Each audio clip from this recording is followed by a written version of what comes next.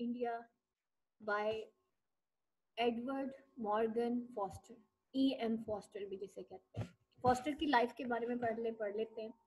Forster was born in London London में पैदा हुआ था और ये जो कहानी है पैसेज टू इंडिया ये ब्रिटिश राज जो कि बड़े सगीर में था, उस पर लिखी गई है। इसका जो मेन कैरेक्टर था वो जो है अज़ीज़ डॉक्टर अज़ीज़ था। यहाँ पे देखते हैं फॉस्टर की लाइफ के बारे में। 1875 born in 79 born in London ठीक है?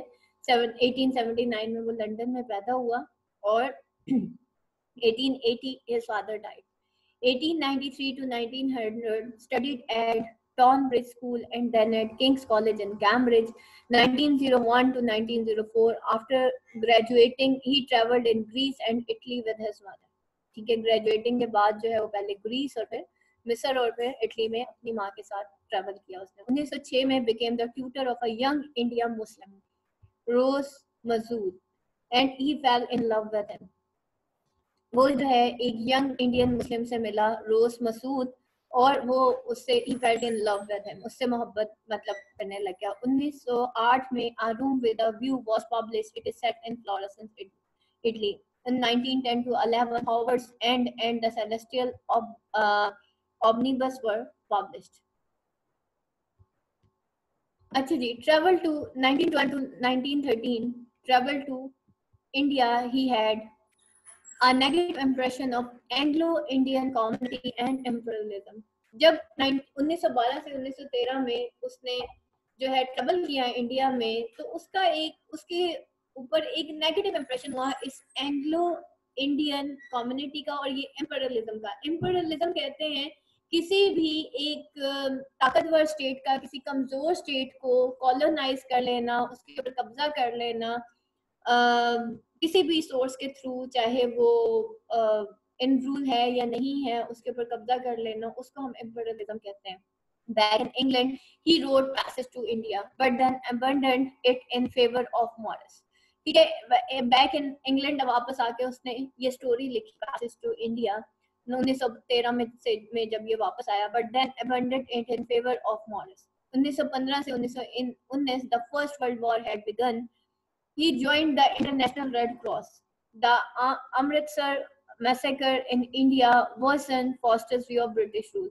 और ये जो अमृतसर में इंडियंस को बहुत ज़्यादा कत्लो हारत हुआ उसने और भी ज़्यादा वर्सन कर दिया ब्रिटिश रूल जो वो इंडिया में कर रहे थे 1921 से 1922 return to India he spend nine months with his friend Masood and he improved his knowledge of India उसने नौ महीने मसूद के साथ गुजारे अपने फ्रेंड के साथ और उसने अपना नॉलेज ऑफ़ इंडिया जो है काफ़ी इम्प्रूव किया।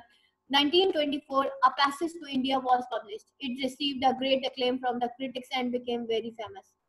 from 1924 to 1970 he wrote no more novels but he gave important lectures on universities and published critics and essays he died when he was 91 91 years की एज में उसकी डेथ हो गई passage to India में हम cultural background देख लेते हैं इंडिया द मॉडल ठीक है इंडिया एक उस वक्त मॉडल था ये आप देखें यहाँ पे ये जो इलाका है ये सारा जो है इंडिया का है ये जो आपको पूरी लाइन नजर आ रही है ठीक ये पूरा इंडिया है। That is basically the Sri Lanka here Indonesia bay of Bengal और यहाँ पे देखिए अरेबियन सी है। और ये आपको पाकिस्तान नज़र आ रहा है, ठीक है? और ये यहाँ से लेके यहाँ तक ये पूरा बड़े संगीत था जो कि दिखाया गया था।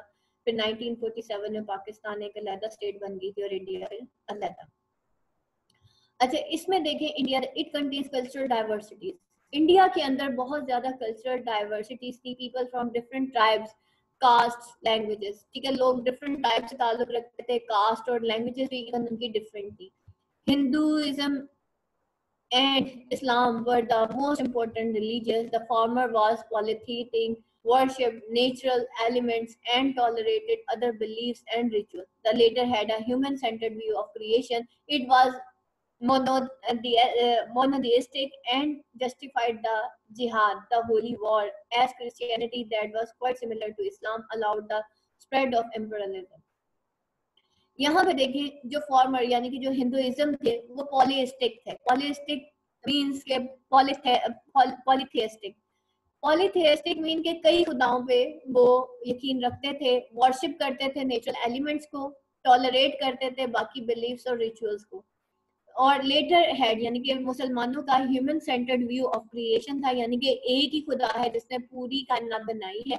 इट वाज मोनोथियस्टिक यानी कि एक खुदा पे। मोनो का मतलब होता है वन पॉली का मतलब होता है मैनी तो ये मोनोथियस्टिक थे, यानी कि एक वहदानियत पे यकीन रखते थे एंड जस्टिफाइड द जहाद। और जहाद को वो जस्टिफाई करते थे the holy war as Christianity similar to Islam allowed the spread of imperialism और जैसे कि क्रिश्चियनिटी ने भी स्प्रेड ऑफ़ एम्परलिज्म जो है वो अलाउ कर रखा था। अच्छा imperialism and decolonization, इससे क्या मुराद होता है? Indian exploitation began in seventeen century with the East India company East India company जो ब्रिटिशर्स ने वहाँ पे बनाई थी तो सिक्सटीन सेंचुरी में वहाँ पे ये ईस्ट इंडिया कंपनी बनने के बाद से इंडियंस को एक्सप्लॉइट किया जाने लगा। England controlled a large part of country above all during the Victorian age when the administration of India was transferred from the East India Company to the Crown. जब administration of India जो है वो transfer हुई from East India Company to the Crown. India rebelled twice against British rule. दो दफा तो India ने British rule के खिलाफ रिबेल किया the first time during the mutiny the second time at Amritsar where 379 Indians were killed and 3,200 were injured by army. In the meantime, after the disasters of the First World War, English people were facing some social changes, such as the feministic movement, the emergence of trade unions, and the Irish question. और in the mean time अब India जो है वो दो दफा उन्होंने rebel किया against British rule first time during the mutiny और सेकंड टाइम अमृतसर में जहां पे 379 किल इंडियंस को किल कर दिया गया और 3200 को इंजर किया गया बाय द आर्मी और उसी वक्त after the disaster of first war English people were facing सब सोशल चेंजेस तो इंग्लिश पीपल जो है, कुछ सोशल चेंजेस जो है, वो फेस कर रहे थे such as the feminist movement the emergence of trade unions and the Irish question like feminist movement औरतों की आज़ादी की बात शुरू हो गई थी.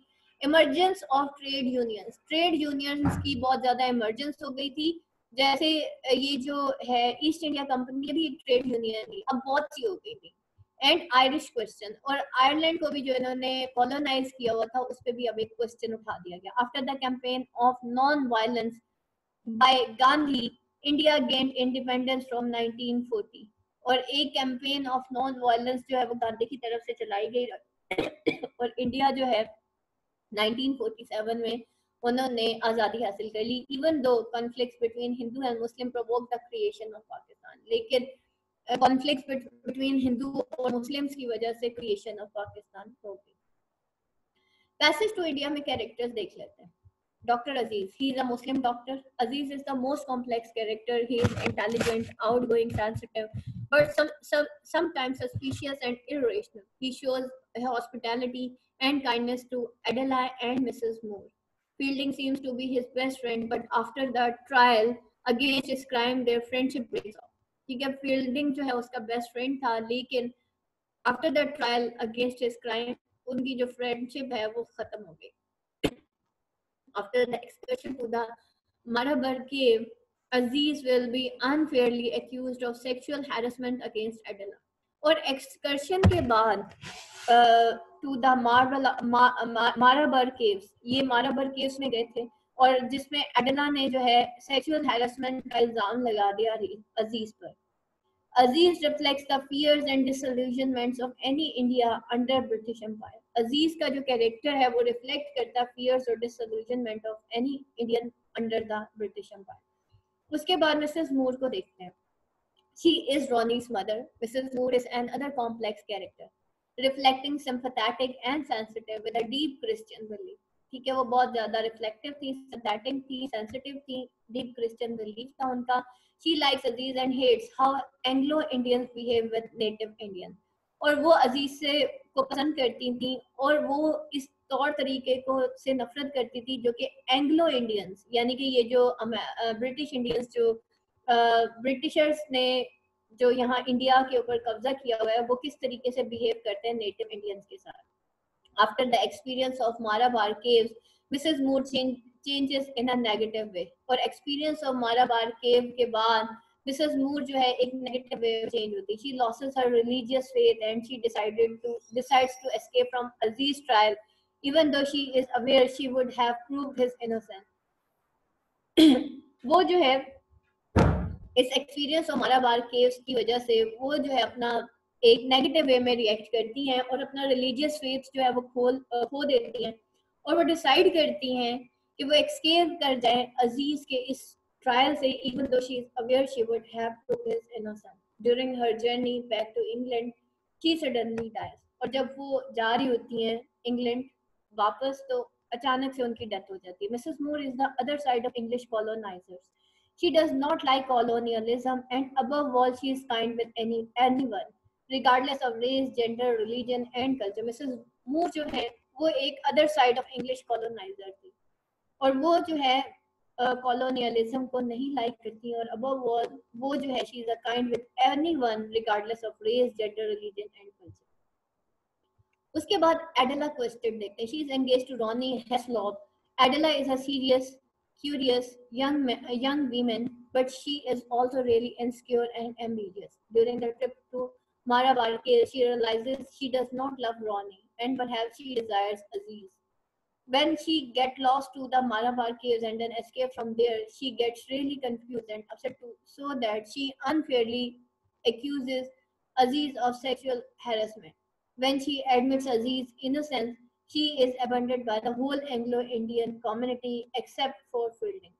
जब जो वो एडमिट करती है अज़ीज़ की इनोसेंस को तो वो जो है she is abandon by whole Anglo Indian community तो होल एंग्लो इंडियन कम्युनिटी जो है वो उसके खिलाफ हो जाती है except for fielding fielding के अलावा एडला is not able to have a good relationship with Indian even she respects them she is the most insecure character her rational mind is destroyed by the evil of Marabar cave उसका वो जो rational mind होता है वो destroy हो जाता है evil of Marabar caves की वजह से Ronnie Haslov देखते हैं he is Mrs. Moore's first son and he is engaged to Adela. Ronnie is extre extremely racist, full of prejudices, and above all, he does not trust any more but himself. Ronny जो है वो extremely resist होता है। Resist ऐसे इंसान को कहते हैं जो अपनी जात को, अपनी रेस को व्हाइट समझता है और दूसरों को ब्लैक यानी कि जिनके अंदर सुपीरियोरिटी कॉम्प्लेक्स बहुत ज़्यादा होता है। रेसिस्ट इन सेंस कि ब्रिटिशर्स थे, ये अपने आप को व्हाइट्स कंसिडर करते थे और थर्ड वर्ल्ड कंट्रीज़ को ये ब्लैक समझते थे। According to Ronny religious religions are stupid and useless except for Christianity that has the only function to justify English monarchy. Ronnie thinks that his career of city magistrate is more important than respecting other people. और Ronny ये भी सोचता है कि उसका जो career है of the city magistrate वो मोर इम्पोर्टेंट है than respecting other people after the trial he breaks off with Adela Ronny is the example of English coloniser the white burden ठीक है? रॉनी जो है वो इंग्लिश कॉलोनाइजर की example है, जिसे वाइट बर्डन कहा गया। He has a deep sense of civilization, duty and honor, but he is insensitive. Mr. Fielding, he is headmaster of the local college and Aziz's friend. At the beginning of the novel, Fielding seems to be the most pleasant character because of his revolutionary thoughts, his way of talking about respect and love among the people. Like Mrs. Moore, he is free from prejudice and generalization. But Fielding is not loyal and reliable. He abandons Aziz twice, just when Aziz needs his help before the trip and during the trial. दो दफ़ा वो अज़ीज़ को छोड़ के चला जाता है। Just when जब अज़ीज़ जो है उसको उसकी हेल्प की ज़रूरत होती है बिफोर द ट्रिप और ड्यूरिंग द ट्रायल और ड्यूरिंग द ट्रायल भी वो उसको अकेला छोड़ देता है। At the end of the novel he will marry Stella Moore Mrs Moore's daughter Fielding is a negative and positive character at the same time he prefers the individual and personal relationship rather than institution that जज and rule on people life Fielding जो है वो negative और positive दोनों character था। वो pressure prefer करता है इंडिविजुअल और पर्सनल रिलेशनशिप को रादर देन इंस्टीट्यूशन जो कि जज और रूल करती है ऑन पीपल लाइफ उसके बाद है प्रोफेसर गॉड बॉले ही। Is a हिप्टो philosopher he is the most charming and mysterious character of the novel Godbole is deeply thoughtful and wise he is aware of the universal mystery Sometimes he is able to foresee future events. He believes in love among the people and in respect of nature and life as well. God Bole seems the only one who is far from human beings. God will is a proof of Hinduism and peace. It is far too complicated to understand such a wise and straight man, although he understands everything. Settings देख लेते हैं. The majority of the novel is set in Chandrapur, but at that time it is also set in Mau. It is divided into three parts, and each name depends on the place where the most important events happen. इसको तीन हिस्सों में तकसीम किया गया settings को number one mosque then caves and then temple अच्छा जी मॉस्क देख लेते हैं it correspond to the cold weather ठीक है और cave it correspond to the hot weather temple it correspond to the rainy season the places are always symbolic such as the marabar caves ठीक है places सारी की सारी symbolic थी, जैसे Marabar caves here we find a universal mystery the muddle and the evil of nature it is here that Adela and Mrs Moore change in a negative way अच्छा जी, उसके बाद लैंग्वेज एंड स्टाइल देख लेते हैं। This is an intensely poetic novel with a great emphasis on human and nature at that same time the description of landscape creates a musical effect through the use of repetition and variation Narrator देख लेते हैं the narrator, uh, narrator is omniscient but he also gives voice to Anglo-Indians and Indians showing their thoughts sometimes with a comic and ridiculous effect. But this point of view, Foster can't be considered a modern writer. अच्छा जी narrator जो है वो omniscient है but he also give voice to Anglo Indians or Indians showing their thoughts वो उनकी thoughts show करता है sometimes with a comic and ridiculous effect point of view Forster can not be considered a modern writer और देख लेते हैं moss का। The novel is set in Chandrapur divided into Indian quarter and the British civil दो हिस्सों में इसको तकसीम किया गया है, एक तो इंडियन क्वार्टर और दूसरा British rule station Ronny Heaslop works there at city magistrate Adela Quested decide to visit India where Mrs Moore one day Mrs Moore meet doctor Aziz at the mosque They immediately becomes friends. Adela and Mrs. Moore have a negative impression of the Anglo Indian community, especially during the bridge party. During the party, Adela and Mrs. Moore meet Mr. Fielding, who invites them to tea with Aziz. The day after Mrs. Moore, Adela and Aziz go to Fielding and they meet Professor Botwell. In order to show his politeness and hospitality, Aziz invites them to a picnic to the Marabar caves. Aziz जो है उनको invite करता है कि वो एक picnic पे चलते हैं हमारा बार केव्स में। Second section the caves the day of excursion Aziz Mrs Moore and Adela go to Marabar caves except for Fielding and Godbole who lost the train Fielding और गॉड बोले जो है वो ट्रेन लॉस कर जाते हैं, जिसकी वजह से वो वहाँ नहीं पहुँच पाते। In the tour of the first cave Mrs. Moore fell, feels ill and is shaken spiritually by the echo within the cave. So she decided to stay behind. Mrs. Moore जो है उनको जो है उन केव से कुछ एक फोबिया होता है जिसकी वजह से वो आगे नहीं जा पाती Aziz and Adela go on visiting the caves. Adela realizes she does not love Ronnie and at the same time she offends Aziz some private question. एडला को ये रियलाइज़ होता है कि वो रोनी से मोहब्बत नहीं करती और एट द सेम टाइम वो ऑफेंड करती है अज़ीज़ को with some private question Aziz escapes into a cave to avoid her Adela walks into another one and she get lost Adela Aziz जैसे ही दूसरी केव में जाता ताकि वो उसको अवॉइड कर सके तो एडेना भी एक और केव में चली जाती है और वहाँ पे जाके गुम हो जाती है। From that moment Adela is really confuse so that when she escaped from the caves back to Chandrapur, she accuses Aziz of sexual harassment.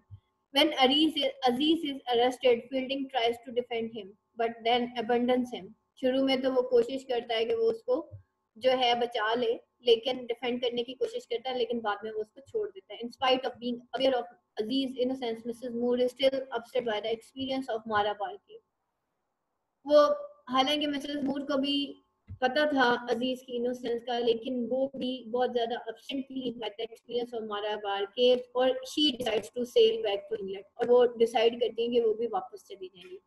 The day of the trial Adela realises she made a mistake और जिस दिन इसकी पेशी होती है, वहाँ उस दिन जो है अदालत में उस दिन उसको रियलाइज़ होता है कि ये उसने बाय मिस्टेक उस पे इल्ज़ाम लगाया। तो she withdraws her accusation against Adela is abandon by the whole community Adela को पूरी कम्युनिटी उसके खिलाफ हो जाती है but Fielding protects her at the same time Aziz and Fielding break off but Fielding succeed in convincing Aziz not to ask a payment for damages against Adela और at the same time Aziz और Fielding की दोस्ती खत्म हो जाती है, लेकिन fielding जो है, इस चीज़ पे अज़ीज़ को कन्विंस करने में कामयाब हो जाता है कि वो एडेला से, जो उसके अगेंस्ट डैमेजेस हुए हैं, उसकी कोई पेमेंट नहीं लेगा। After having break off with Ronny Adela returns to England temple देखते हैं the novel fast forward several years to Mau where God Bole is Minister of Education and Aziz is the doctor for Doctor Hospital. During a walk, Aziz meets Fielding and another man. This man is Ross Moore. Mrs. Moore's third, uh, third son. Aziz realizes his mistake. Fielding did not marry Adela question. Aziz को अपनी mistake uh, के बारे में realise हो जाता है। Fielding जो है एडेला क्वेस्ट से शादी नहीं करता but Stella Moore Mrs Moore's daughter Aziz antagonism towards in Fielding ends और यहीं पे अज़ीज़ की जो दुश्मनी होती है फील्डिंग की तरफ़ वो खत्म हो जाती है। Above all when he talks alone with Ralph in the guest quarter जब वो क्वेस्ट क्वार्टर में राल्फ से बातें करता है। When Aziz and Fielding go horse ride together they realise that circumstances prevent them from maintaining their friendship Aziz और Fielding जब horse ride पे जाते हैं तो वो रियलाइजेस रियलाइज़ करते हैं कि ये जो सर्कमस्टांसेस हैं वो उनको उनकी फ्रेंडशिप मेंटेन करने में रोकते हैं The novel ends as it opens with the main question Is it possible for an Englishman for an Englishman and an Indian to be friends कि क्या ये पॉसिबल है कि एक इंग्लिश मैन और एक इंडियन जो है वो कभी फ्रेंड हो सकते हैं थीम्स इसकी देख लेते हैं क्या क्या है Imperialism. Foster's novel is an obvious critique of imperialism. The British Empire is portrayed as a racist institution that exploits Indians and treats them unpleasantly. Foster का novel जो है is an obvious critique of imperialism. एक obvious critique है imperialism की British empire जो है, वो portray हुई है एज अ रेसिस्ट इंस्टीट्यूशन जो कि एक्सप्लॉइड करती हैं इंडियंस को और ट्रीट करती हैं उनको unpleasantly but novel is quite ambivalent about Indian desire to be independent लेकिन नॉवल जो है, वो क्वाइट एम्बिवेलेंट है अबाउट इंडियन इंडियन डिज़ायर वो एक सिंबल है about Indian desire to be independent कि उनको आज़ादी चाहिए. The author seems also sceptical about that India is really difficult to unify because of so much religions and social differences. Is there something that includes anyone regardless of race, religion or class? Foster gives no solutions. Foster कोई solution भी नहीं देता. Race, life in Chandrapur is based on racial lines with the white English on one side and Orientals on the other side. ठीक है एक तरफ़ तो white English थे और दूसरी तरफ़ वहाँ के जो मकामी लोग ओरिएंटल्स थे, वो दूसरी तरफ़ थे। और ये लाइफ जो है चंद्रपुर की, वो रेशियल लाइंस में डिवाइड होकर रह गई थी। The white burden has to help Indians to be civilise और ये जो वाइट बर्डन है, उनको इंडियंस को हेल्प करना था कि वो सिविलाइज पीपल बन जाए। But the don't but they don't manage to do so लेकिन वो कभी ये मैनेज कर ही नहीं सके। Since they are not as civilise as they think to be क्योंकि वो उतने सिविलाइज नहीं थे कि जितना वो अपने आप को सोचा करते थे। Orientals are considered to be exotic sensual irrational and unable to rule themself वहाँ के जो मकामी लोग थे यानी कि बड़े सगीर के लोगों को ये लोग जो थे यानी वाइट्स जो थे वो अपने आप को वाइट समझते थे इनको ब्लैक समझते थे।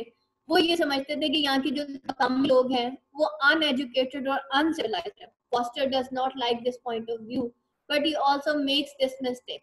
He shows that shows the Orientals as generally irrational and uncivilized, even though he is sympathetic to them. Foster जो है वो ये point of view तो नहीं लाइक uh, करता था लेकिन उसने फिर भी ओरिएंटल्स को irrational और uncivilized शो किया हालाँकि वो उनकी तरफ़ sympathetic था women British colonial society elevates the traditional and attitude toward women, which was typical of English culture.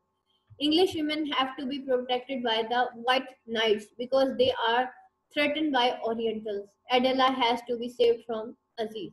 अब इंडियंस जो विमेन होती थी इंग्लिश विमेन सॉरी उनको जो है वाइट नाइट्स जो है प्रोटेक्ट करते थे क्योंकि उनको थ्रेटन किया जाता था मतलब उनके दिल में खौफ बैठा हुआ था कि ये जो ओरिएंटल्स हैं, ये उनको थ्रेट करेंगे but English women demonstrate their weakness by being more racist and nasty than their husband such as Mrs. Turton, Mrs. McBride, and Mrs. Calendar. On the other hand, Indian women are segregated from the male-dominated system. This practice is called parda.